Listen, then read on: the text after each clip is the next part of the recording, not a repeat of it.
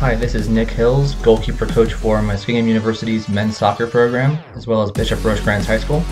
And I think Makaela McLaughlin is definitely ready to compete and is qualified to compete at the Division One collegiate level.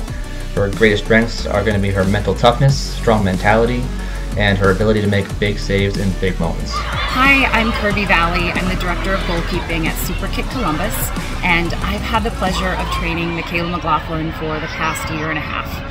Um, within our training environment, Makaela has uh, shown so many attributes that would make her a top recruit. I would say one of the biggest attributes about Makaela is her consistency, um, both mentally and physically. She is so solid, so strong, and incredibly reliable as a goalkeeper. Um, and I highly, highly suggest uh, Makaela to play on at the next level um, at, at, a Division One school um, that is looking to uh, contest for a national title and uh, play professionally uh, if she chooses to.